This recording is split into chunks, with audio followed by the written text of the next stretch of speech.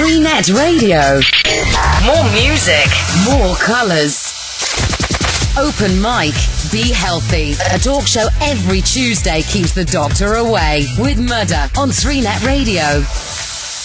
Bine v-am regăsit, sunt Madalina Ion, începe microfonul deschis, emisiunea pentru o mai bună sănătate, update, atac terorist de amploare în chiar inima Europei la Bruxelles, în Belgia. 32 de oameni au murit, potrivit celui mai recent bilanț, și peste 230 au fost răniți. Televiziunea publică belgiană însă anunță 34 de morți. Primele două explozii au avut loc în aeroport, în salonul de plecări, lângă ghișeul companiei American Airlines. Apoi au urmat deflagrații în stațiile de metrou Malbec, Schumann și Artloa. Statul islamic a revendicat atacul terorist în timp ce autoritățile au publicat prima fotografie cu suspecții atentatului de pe aeroport. Guvernul belgian a activat imediat planul de catastrofă regională. Potrivit unei știri de ultimă oră, trei români au fost uh, răniți în atacul terorist de la Bruxelles. Doi dintre ei sunt încă internați în spital, cel de-al treilea a fost externat. De asemenea, Facebook este important să știți, a activat funcția Safe to Check pentru cei care au legătură cu ce s-a întâmplat astăzi în Belgia. Cât privește țara noastră, sunt trupe antitero la aeroport, ambasade și metrou. Nivelul de alertă um, teroristă rămâne în acest uh, moment albastru precaut. Microfonul deschis continuă cunoscutul compozitor și cântăreț membru al celebrei trupe Beatles, John Lennon, spunea că viața este ceea ce ți se întâmplă în timp ce ești ocupat să faci alte planuri. Vorbele mi se par extrem de sugestive pentru actuala situație, dar și pentru tema ediției din această seară, cauzele problemelor de sănătate mentală a copilului și adolescentului. În studio alături de noi se află Ovidiu Telegescu, psihoterapeut, psiholog clinician. Bună seara, bine ai venit! Mulțumim că ai acceptat invitația! Bună seara și bine v-am găsit. Îmi pare rău că revin tot pe un eveniment negativ, dar se pare că are legătură inclusiv cu tema de astăzi seara. Exact, de exact, la asta mă gândeam și eu. Știu că uh, ultima noastră întâlnire a fost uh, ocazionată de evenimentul tragic din clubul uh, colectiv. E bine, cum gestionăm uh, o situație de criză ca cea de la Bruxelles? Uh, Ehm, dacă suntem uh, părinți, nu numai dacă suntem părinți, dar poate uh, adolescenții, ce trebuie să înțelegem din ce ni se întâmplă și ce pași sunt de făcut. Citeam uh, până la intrarea în emisie declarațiile corespondentei Radio România la Bruxelles, colega noastră Cerasela Rădulescu, care, deși cuprinsă de panică și emoție, a reușit să transmită pentru Radio România actualități însă era nebunită, nu știa cum să facă să ajungă cât mai repede la fiul său, la, uh, la liceu, uh, să-l ia de acolo. Am întrebat-o cum se simte uh, copilul, care sunt reacțiile lui. Mi-a răspuns că nu are deocamdată nicio reacție, refuză să vorbească și să mănânce, dar cu toții din familie sunt convinși că va recupera și își va reveni. Ei bine, cum trebuie gestionată o astfel de situație? Așa cum spuneam și cu ocazia evenimentelor de la colectiv, o asemenea situație trebuie gestionată cu foarte mult tact. În primul rând că nu trebuie să negăm un eveniment care există și care cu siguranță, din nefericire, va reveni la un moment dat. Deci fac parte din viața noastră, fac parte din cotidian. Important este ca noi să nu rămânem indiferenți față de asemenea evenimente și mai mult să nu negăm că ele se pot întâmpla. Uh, faptul că suntem prezenți alături de prietenii noștri, de copiii noștri, de cunoscuți sau pur și simplu de oameni necunoscuți, ceea ce am văzut apropo astăzi la Bruxelles nu am văzut deloc o solidaritate, ci fiecare săracul era independent și încerca să, să, să, supravie- să supraviețuiască, da. ceea ce este firesc până la un punct să se întâmple. Ceea ce e... nu s-a întâmplat la colectiv, exact, exact, pentru că ce... mulți au murit fiindcă au refuzat să plece de acolo, s-au întors să-și salveze prietenii. Da, categoric. Asta ar trebui să se întâmple. Cu riscul că ne pierdem viața, trebuie să dăm dovadă de solidaritate. Pentru că poate eu am să-mi pierd un picior, dar am salvat trei oameni. Și e adevărat, uh, o să spun sau rudele or să spună la un moment dat, uh, vai, că dacă n-ai fi făcut asta, ai fi fost astăzi uh, valid și ai fi ocupat nu știu ce funcție. Credeți-mă, nicio funcție din lume, nici banii din conturi, nici nimic nu ne fac oameni. Oameni suntem noi, cei fără funcții, fără diplome, fără bani în conturi și asta contează cel mai mult când e vorba de sănătatea noastră, de sănătatea mentală, de echilibrul nostru interior. Echilibrul Da, nostru că interior până nu la este urmă dat asta de bani și de înseamnă. diplome. Sub nicio formă. Să știi că am văzut uh, situații, situații cu persoane în centrul lor uh, pentru care uh, banul, uh, contul din bancă, cardul, uh, uh, postul uh, ocupat uh, reușeau să echilibreze cumva interiorul.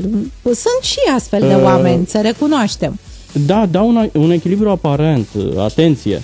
Da, eu pot fi echilibrat pentru că am un job foarte bine plătit și îmi pot permite o Ai o vacanță. siguranță, de Dar fapt, oare nu? sigur nu am niciun alt dezechilibru? E, aici și aici. Vorbim de echilibrul Da. nostru interior și de starea de sănătate mentală până la urmă.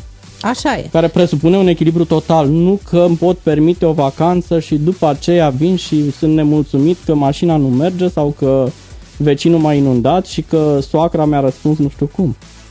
Țin tot de echilibrul nostru.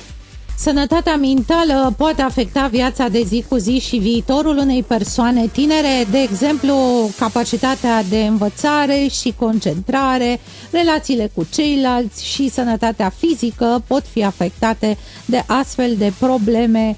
uh, care țin de sănătatea mentală. În uh, studioul nostru invitat la microfonul uh, deschis, Fii Sănătos, este psihoterapeutul și psihologul clinician, uh, prietenul nostru Ovidiu Telegescu. Ovidiu, ce factori pot favoriza până la urmă apariția acestor probleme care țin de sănătatea mentală? Uh, înainte de a enumera niște factori sau a face un inventar al factorilor, vreau să spun că fiecare dintre noi, la un moment dat al vieții, putem avea o problemă de sănătate mentală. Nu, asta nu înseamnă că suntem scutiți măcar de o mică depresie sau de niște tulburări anxioase. Dar este foarte important startul nostru în viață. Este foarte important rolul părintelui în primii ani de dezvoltare al copilului. Dacă vom fi prezenți lângă copilul nostru, îi vom aloca timp, Uh, vom învăța să citim povești și să ne jucăm alături de el. Uh, Dacă în afara orelor de program și a bonei pe care o avem astăzi, vom ieși în parc, îl vom încuraja să facă lucruri, nu vom spune nu este voia acolo, tu nu poți asta, atenție la acest nu poți asta, nu ești bun pentru asta sau colegul tău este mai bun, atunci avem șanse să avem niște copii sănătoși. Dacă adolescentul nostru, care dincolo de problemele de tranziție, de probleme hormonale, va fi încurajat să facă lucruri. Dacă nu vom spune ai luat o notă proastă, ei și dacă a luat o notă proastă, ce se întâmplă? Nu se întâmplă nimic. Dacă îl vom încuraja să facă lucruri, să treacă peste anumite incidente neplăcute, evenimente, vorbeam de colectiv mai devreme, uh-huh. nu vom spune nu este voia aia, dacă ai să faci aia o să ți se întâmple nu știu ce, atunci am să cred că a- o să am un adolescent sănătos. Pentru că îi cresc stima de sine și încrederea în sine, ceea ce sunt, cum să vă spun, ingredientele de bază în, viaț- în viața noastră, în sănătatea noastră psihică. Dacă am aceste ingrediente, șansa să fiu o persoană mai puțin anxioasă sau mai puțin predispusă la depresie este mai mare. Până la urmă, uh, vorbeai de un uh, uh, inventar al acestor factori, eu zic să-i trecem oarecum în revistă, să știm uh, exact despre ce discutăm. Păi, deci primul lucru este această stimă de sine pe care o cultivăm de, de la începutul existenței noastre. Dacă nu vom face decât să o descreștem, automat este un factor important în... Mai departe este mediul de acasă, mediul din uh-huh. familie. Ceea ce eu văd acasă, tensiunile la care sunt supus sau sunt supuși adulții din jurul meu sau prietenii din jurul meu mă pot influența mai departe. Și trecem ușor, ușor spre partea socială, spre partea culturală cu care noi venim, mediul din care venim, oamenii cu care venim în contact. Tot, tot acest, toate aceste lucruri au influență fantastică asupra stării de sănătate psihică. Uh, școala are un rol important, pentru că dacă la școală o să mi se spună ești prost, nu ești bun, cum se întâmplă prin școala românească da, în ultimii da. ani, am văzut atâtea cazuri, automat vom avea copii și viitori adolescenți și adulți cu probleme de sănătate mentală. Mai mult decât atât, să nu uităm că avem în rândul colectivelor de elevi copii cu așa zise întârzieri în dezvoltare. Dacă cadrul didactic și părinții, deci nu doar cadrul didactic, ci și părinții, vor încerca să facă diferențieri și vor spune, a, păi trebuie să-l luăm mai ușor, că el nu poate în ritmul ăsta, nu facem uh-huh. decât să adâncim o propastie. Este adevărat, el are o lentoare, poate, dar asta nu trebuie să o mai și subliniem. Că suficient copiii ceilalți da, văd. Această stigma- stigmatizare... Urmă, exact, o transformăm în meteahnă, Da, în îi mai dăm o problemă în plus uh-huh. acelui copil. Da, da. Uh, care sunt semnele uh, care pot indica o posibilă dereglare, o posibilă problemă de sănătate uh, mentală sau poate chiar o tulburare uh, emoțională serioasă a tânărului, a adolescentului? Uh, și aici o să putem face un inventar, o să punctez câteva lucruri esențiale pe care fiecare dintre noi ar putea să le vadă. Primele semne de alarmă sunt în momentul în care copilul meu, tânărul meu, partenerul meu poate, uh-huh. uh, a început să nu mai facă lucruri pe care le făcea cu plăcere. Nu mai merge la not dintr-o dată, deși mergea de trei ori pe săptămână la piscină, nu mai cântă la chitară. Ăsta este primul semn de alarmă. Acea tendință spre izolare, spre nemulțumire, acea răzvrătire permanentă sau poate acea apatie permanentă. Sunt toate semne de dezechilibru. Și am mai putea adăuga ceva pe lista aceasta a ingredientelor? Uh, sunt, sunt foarte multe pe listă. Astea sunt la prima vedere, este adevărat, dar după aceea accentuăm starea de revoltă, retragerea și izolarea socială pentru că ajungem aici sau la acel adolescent rebel, cum îi spunem noi, acea asociere cu prieteni care nu spun nu, ci spun da unor trăiri firește ale lui, chiar dacă acei adolescenți nu rezonează cu el neapărat, dar îl încurajează să facă lucruri. Uh, sau vine... dintr-o dată elevul foarte silitor devine un elev problemă exact, sau invers, exact. sau invers, că se poate întâmpla și asta. Deci un elev problemă poate deveni un elev calat spre învățătură, care acasă vine și se revoltă și sparge și rupe și Așa. jignește da. și și asta este tot un semn de dezechilibru. Uh-huh. Deci atenție și, și lucrurile pozitive duse la extremă în comparație cu restul comportamentului pot fi semne de dezechilibru.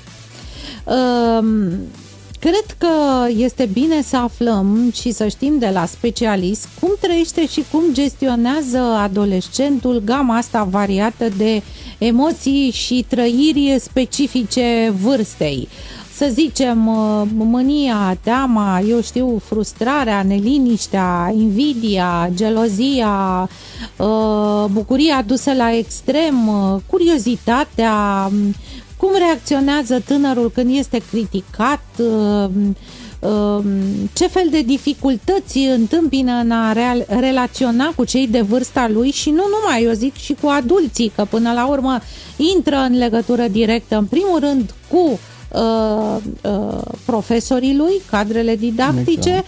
și, bineînțeles, cu părinții, rudele, cunoștințele părinților, să zicem, cei mhm. apropiați familiei. Da, adolescența în sine este o vârstă a contradicțiilor, pentru că, exact cum spuneam, sunt niște transformări biologice, niște transformări care își spun cuvântul, și apar și multe dereglări. Punctai foarte bine apropo de cum își gestionează trăirile, fricile, bucuriile sau necazurile. E, aici este o mare problemă. Dacă în copilărie am sădit această comunicare și am încurajat lucruri, atunci sunt gestionate mai ușor. Dar dacă nu, vom avea de-a face cu adolescenți cu probleme și familii cu probleme. Pentru că uh, mi-e foarte greu să exteriorizez și să spun celor din jur prin ce dramă trec, sau poate nici măcar nu este o dramă, dar așa îl văd eu. Uh, mai mult decât atât, mi-e foarte greu să spun uh, colegilor pentru că mă vor izola. Avem o grămadă de adolescenți care maschează așa zisa timiditate prin acte de violență sau uh, opusul prin retragere socială, ambele sunt la fel de toxice și așa mai departe. Deci, pentru a avea niște adolescenți cu care putem comunica ar trebui practic să mergem alături de ei și să menținem acea linie pe care am format-o încă din copilărie. Iar eu, ca partener social, ca partener de proiect, de clasă, de ce vreți dumneavoastră, ar trebui să am acea apropiere firească către fiecare din colegii mei. Adică, dacă pe tine te văd astăzi că te-ai retras, îți respect limita pe care ți-ai setat-o, dar încerc să te cunosc și să te ajut. Nu cu forța, că nu o să trecem pe nimeni da. strada cu forța, dar încercând să vedem ce se întâmplă cu tine. Pentru că, repet, ceea ce pentru tine poate fi o tragedie, care poate fi o notă proastă sau mi-am pierdut sau prietena. Sau că nu sau... ți-a zâmbit, nu știu care Exact, coleg. sau nu mi-a zâmbit da. fata pe care eu o plac și colegului meu i-au zâmbit cinci fete, asta poate fi din nou o tragedie, da. pentru că nu mai sunt bun, eu nu pot fi bărbat și multe alte tragedii care pot genera, sunt o grămadă de anxietăți care se nasc sunt scenarii pe care le construim. E, aici apare rolul nostru, a celor care suntem lângă ei. Mm. Să oferim această deschidere, chiar dacă el o să mă respingă inițial sau poate o să-mi vorbească urât sau poate o să-mi caseș și o palmă, nu se știe.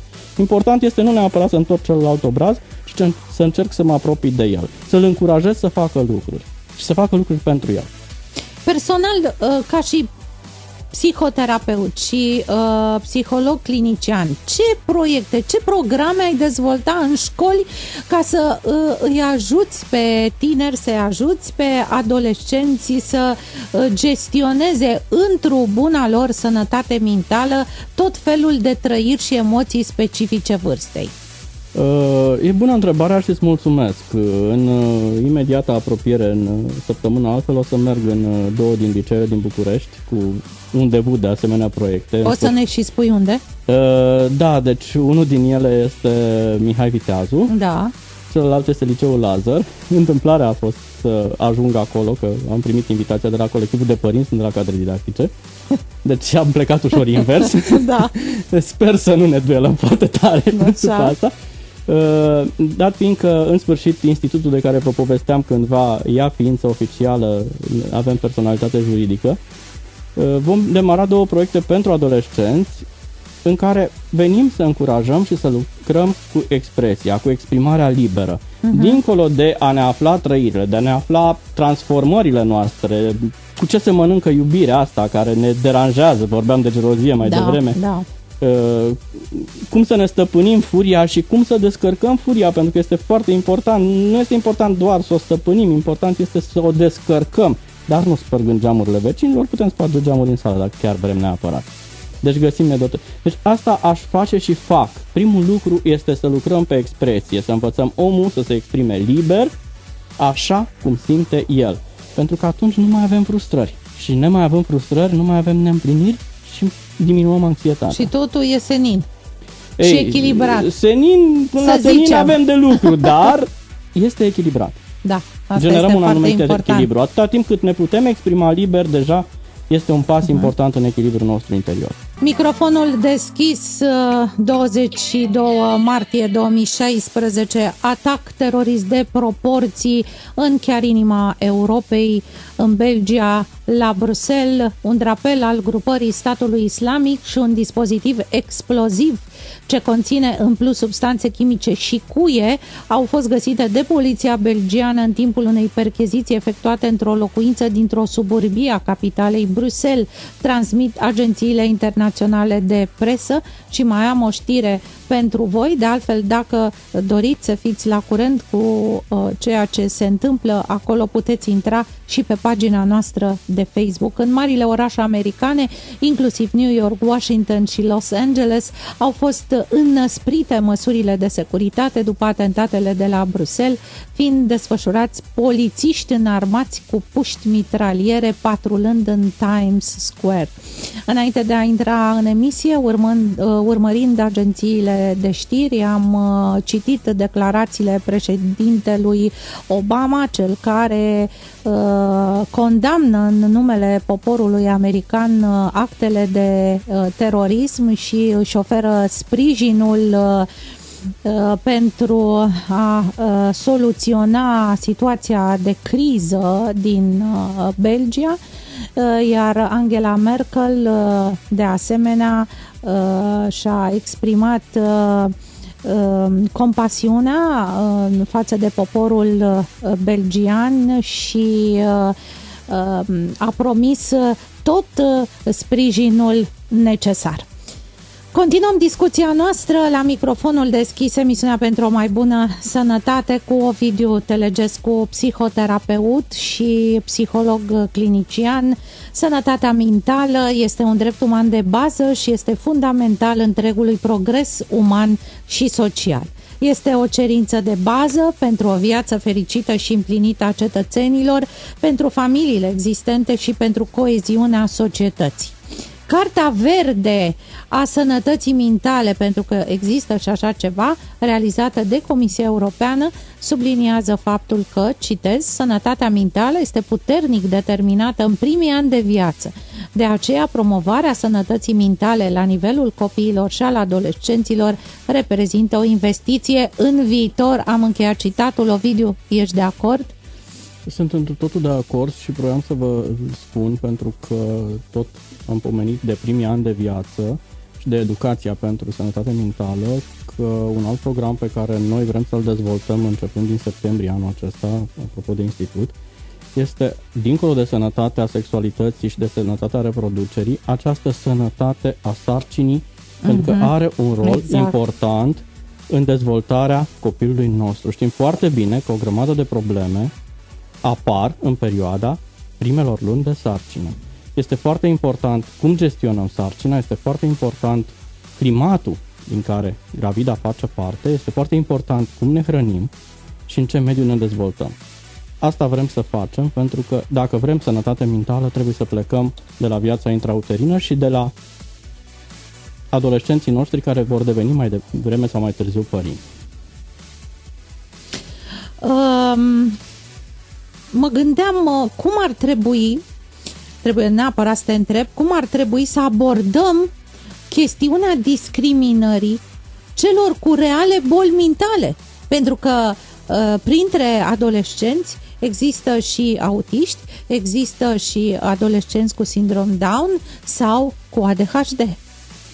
Da, din nefericire există carte verde, așa cum spuneai, există niște drepturi, există pe hârtie, există promovarea lor de către anumite ONG-uri și chiar le salut pentru că fac o muncă extraordinară pentru oamenii cu anumite probleme. Vorbeam aici de autiști și de ADHD. Dar, atenție cum le gestionăm. Spuneam mai devreme de modul în care ne stigmatizăm colegii, ne stigmatizăm copiii Faptul că avem printre noi un copil autist nu înseamnă că avem un monstru, nu înseamnă că trebuie să fugim sau că se ia la noi. Acea deschidere spre acel copil, acea, acea includere în cercul de copii este un lucru firesc care ar trebui să se întâmple și care ar ajuta inevitabil la dezvoltarea normală a copilului cu autism sau cu ADHD. Este adevărat, poate strică jucăria copilului meu. Și e atât de importantă o jucărie? Cumpărăm încă 10 sau poate părintele copilului care a stricat jucăria o să vă cumpere o altă jucărie. Haideți să facem pași spre ei. Ei vin spre noi, știm foarte bine, copilul autist, copilul cu Down, vin spre copiii noștri pentru că e firesc, vor să se joace, vor să trăiască Asta e. normal. Cu, cum îi integrăm? Ei nu, ei nu știu că ei sunt negri și ceilalți sunt uh-huh. albi sau au o ureche și ceilalți au trei. Nu, sunt copii ca și copiii noștri. Și integrarea ar trebui să plece de la noi spre ei, oricum vin spre noi. Haideți să-i primim spre noi și să-i primim în cercurile noastre. Uh, așa cum citesc povești copilului meu, așa pot să citesc povești și copilului cu Down, chiar dacă poate se plictisește sau nu o să înțeleagă decât un sfert. Dar dacă eu, în activitatea mea de citire, de ce fac acolo, o să introduc activități ludice, cu siguranță acel copil va fi captat și va sta lângă mine. Deci asta este o formă de integrare pe care orice părinte poate să facă, introducerea jocului în activitățile copiii. Ți se pare firesc, normal? Știu că stăm prost la capitolul servicii speciale din acest punct de vedere în comunitate, dar ți se pare normal să fie acceptați într-o clasă de copii sănătoși mental, să zicem, în proporție de 90%, um, astfel de copii n-au nicio vină. Speciali Că n-aș vrea să le spun autiști sau nu, mai știu nu. cum. Sunt copii și atât, din punctul meu de vedere. Uh, tu știi foarte bine, ascultătorii o știu mai puțin. Uh, în 95, când am plecat eu ca psiholog, am lucrat inițial cu deficienți Cu- cu de astfel vedere, de- da, cu da, o grămadă da. de Aveai copii cu de altfel tulburări și emisiune asociate. la Radio România Cultural. Exact, exact. Uh, întotdeauna am spus că locul copilului special nu este într-un colectiv special. Da, a fost nevoie o perioadă lungă de timp pentru că nu existau mijloace auxiliare pentru fiecare uh-huh, copil în parte. Uh-huh. Dar, repet, această segregare nu este ok. Nu este ok să separ. Copilul trebuie să se dezvolte în mediu normal cu ceilalți copii. Faptul că el este un copil special nu înseamnă că este un copil anormal. Și nu trebuie să-l marginalizezi. Eu îți dau dreptate, dar vezi tu, cadrele didactice nu sunt pregătite. Da, dar asta nu este vina nici măcar a cadrului E- e didactic, adevărat. ci a celui care ar trebui să asigure această pregătire. Din Da. 90 încoace ne văităm că nu, nu suntem pregătiți, dar nu se poate. Când o să fim pregătiți? Nu suntem pregătiți, dar nici nu facem nimic Păi în sensul exact, ăsta. doar ne văităm, știți, în terapie noi spunem, avem un joc, ai dreptul să te plângi 5 minute Aha. și niciodată despre același lucru. Păi hai să aplicăm terapia asta pe poporul român, hai să ne plângem 5 minute și să epuizăm plângerile astea, tot timpul nu suntem pregătiți, nu avem și să ne fie cu iertare, avem mai mult decât unele țări care au venit și ne-au învățat au în acest moment. Dar trebuie să și vrem să facem ceva. E foarte ușor, e adevărat să lucrez cu 23 de olimpici, dar rolul meu sau mulțumirea mea nu cred că este doar să lucrez cu olimpici. Păi da, dar e mult mai ușor să lucrezi cu olimpicii. Da, nu știu, până la un anumit Nu, nivel, nu știți știu, că pot, pot părerea apărea mea. și acolo niște Se pot- dificultăți, apar și acolo anxietățile, stați Da, ușor, da. că nici ei nu sunt scutiți. Uh, Ovidiu, câteva concluzii pe marginea celor discutate astăzi. Uh, O primă concluzie și este un îndemn, este acela spre integrare, spre a ne juca și a fi expresivi. Dacă ne vom juca cu aceste persoane de care vorbeam mai devreme, atunci ele se vor simți normale, așa cum ne place nouă să ne spunem că suntem normali. Nu știu ce-o fi aia normalitate și cât de normal suntem, dar asta e altă discuție pe altă emisiune dacă vreți. Uh, un alt îndemn pe care îl lansez este acea luptă pentru sănătatea ta. Și când spun luptă pentru sănătatea ta, spun nu doar mențineți uh, condiția fizică și mergi la sală sau atenție la alimentația pe care o ai, ci este un îndemn pe care îl fac tuturor, începând de la prieteni până la clienți, pacienți și așa mai departe. Haideți să facem în fiecare zi un lucru nou pentru noi. Indiferent că este am a pleca și a aduna o frunză de jos, dar este un lucru nou pe care nu l-am făcut până atunci. Și haideți țara să fim sinceri cu noi și să ne întrebăm ce am făcut astăzi pentru noi. Dacă o să facem acest lucru, atunci problemele de sănătate mentală vor bate mai greu la ușa noastră sau o să cam aibă de bătut. Deci dezvoltarea noastră personală este foarte importantă și credeți-mă, nimeni nu o să o facă în locul nostru. Cât aș vrea eu sau dumneavoastră să ajutăm, dacă, dacă tu nu vrei să te ajuți, n-am cum să te ajut. De aceea, primul, primul pas pe care aș putea să-l fac e la îndemâna mea. Update, atac terorist de amploare în chiar inima Europei la Bruxelles, în Belgia. 32 de oameni au murit, potrivit celui mai recent bilanț și peste 230 au fost răniți. Uh, televiziunea publică belgiană anunță însă 34 de morți. Printre cei uh, răniți uh, se află și trei români, doi dintre ei uh, sunt încă internați în spital, cel de-al treilea a fost externat. În România, trupe antitero la aeroport, ambasade și metrou, nivelul de alertă teroristă rămâne în acest moment albastru precaut.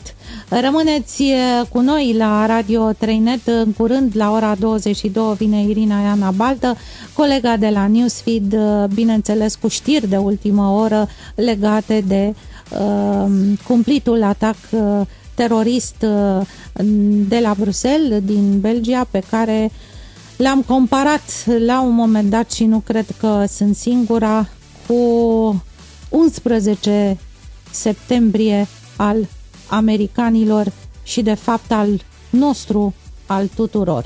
Mulțumim frumos, Ovidiu Telegescu, psihoterapeut și psiholog uh, clinician. Te așteptăm și cu altă ocazie găsim teme de discuție. Slavă Domnului! Și eu vă mulțumesc și nu uitați, un lucru nou în fiecare zi pentru noi. Nu vom uita! 3net Radio. More music, more colors.